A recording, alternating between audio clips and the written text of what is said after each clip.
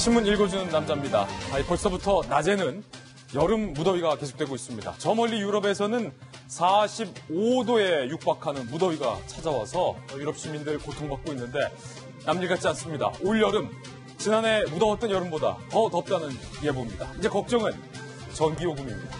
동아일보입니다.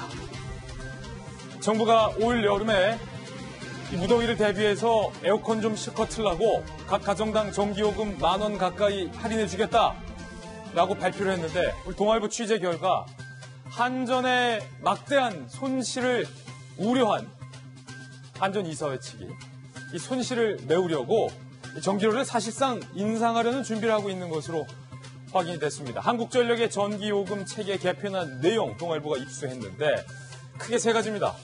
예컨대 구간별로 전기 사용량에 따라서 전기 요금을 측정해 매기는데 가장 전기를 덜 쓰는 1단계 사용자에게는 월 4천원 할인되던 제도가 이제 폐지가 됩니다. 한전 이사회가 배임 혐의로 한전이 기소될 수 있다, 고발당할 수 있다라는 것을 우려하고 있었는데 이 4천원 할인제를 없애기로 했다는 겁니다.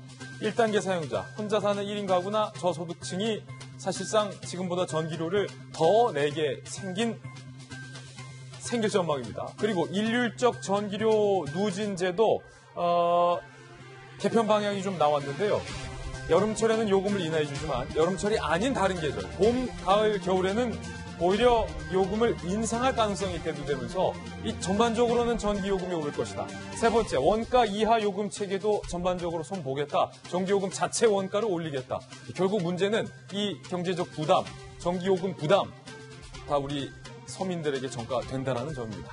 전기요금 깎아준다고 해서 좋아했는데 오히려 더 내게 생겼다라는 비평도 나오고 있습니다. 다음 신문입니다. 이번엔 조선일보입니다. 한일 관계 이거 심상치 않다, 심상치 않다 했는데 일본이 기습적으로 한국 산업에 급소를 찔렀습니다. 조선일보는 이거 일본의 명실관이 보복이다. 보복이다. 우리 정부의 강제징용 배상 판결에 대한 일본의 보복이다. 이렇게 썼습니다. 일본은 아예 양국 간의 신뢰가 훼손됐다라고 발언했습니다. 반도체 디스플레이에 들어가는 핵심 소재가 거의 어, 일본에서 전량을 우리가 수입하다시피 할 정도로 의존하고 있는데 한국에 대한 수출을 사실상 규제하겠다. 뭐 실질적인 금수 조치다. 이런 얘기도 나오고 있습니다.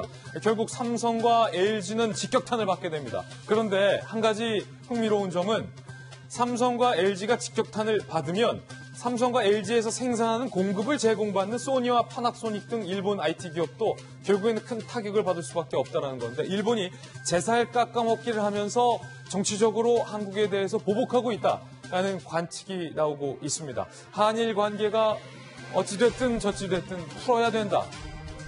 안 풀면 서로가 복잡해지게 될 것으로 얘기가 나오고 있어서 상당히 우려되는 대목입니다.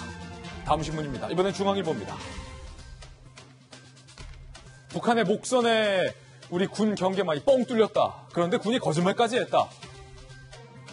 이 사건에 대해서 국방부 내에 합조단이 꾸려져서 조사를 해왔습니다. 그런데 북한 목선과 관련해서 은폐 없었다. 라고 결론을 내렸습니다. 그리고 경기가 뚫린 것에 대해서 우리가 뭐 용어를 잘못 쓴 문제에 불과하다. 라고 잠정적 결론을 내린 것으로 취재됐습니다. 내일 이걸 발표한다고 하는데 큰 논란이 예상됩니다. 아예 국방부 내의 합조단은 청와대와 혹은 국방부 위의 윗선은 조사조차 하지 않은 것으로 현재 얘기가 나오고 있습니다. 국방부의 수상한 셀프 조사 비판의 도마 위에 올랐습니다. 잠시 후 이야기 나눠보겠습니다. 다음 신문입니다. 이번엔 경향신문입니다. 북한에서 하루 늦게 공개한 판문점 남북미 정상회동 만남과 작별 순간입니다. 북한이 하루 늦게 기록 영화의 형식으로 영상을 공개했습니다. 어, 저희가 지금까지는 볼 수 없었던 영상들이 다른 앵글에서 공개가 됐습니다. 두 정상이 이렇게 환하게 웃으면서 악수하는 모습이랬지. 아니면 김정은 위원장이 문재인 대통령을 꽉 포옹하기 바로 그 직전, 헤어지기 그 직전, 이렇게 잘 보이는 각도에서 찍은 영상들도 공개가 됐습니다. 잠시 후에 북한이 공개한 새로운 앵글에서의 영상 함께 살펴보겠습니다. 우리 청와대도 영상을 공개했습니다. 북한과 남한의 청와대가 우리가 더 잘했다. 판문점의 주인공은 나다. 일종의 프레임 전쟁을 시작했다라는 관측도 나오고 있습니다. 다음 신문입니다. 이번엔 한국일보입니다. 판문점 회동을 최근접거리에서 취재한 폭스뉴스의 칼슨이 김정은이 숨을 쌕쌕거리면서 걸었다. 건강 이상서를 제기했습니다. 꼭 폐기종 환자 같다라고도 표현을 했습니다. 생중계된 방송 화면에서도 김 위원장의 안색이 붉고 어두워 보였다라는 얘기입니다. 살펴볼까요?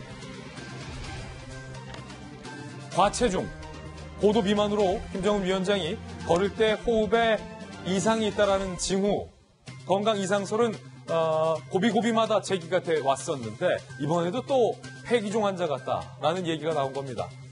잠시 후에 이, 역- 이 이야기 역시 다뤄보겠습니다. 다음 신문입니다. 이번엔 한겨레 신문입니다.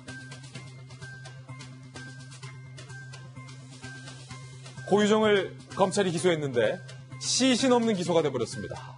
이제 재판장에서 과연 시신이 없는 이 살인 사건에 대해서 법원이 고유정에게 어떤 판결을 내릴지가 최대 법률 관심사로 남아 있습니다. 전 남편 살해 피의자 기소, 계획적 범행 여부 쟁점. 이 재판 과정에서 고유정의 끔찍한 사건 전말이 드러날 걸로 보입니다. 한편 고유정이 의붓아부 아들을 죽인 것이 아니냐라는 의혹과 관련돼서 수사관 그리고 프로파일러 7명이 보강 투입돼서 조사가 진행되고 있습니다. 잠시 후에 이 소식도 전해드리겠습니다. 지금까지 신문 읽어주는 남자였습니다.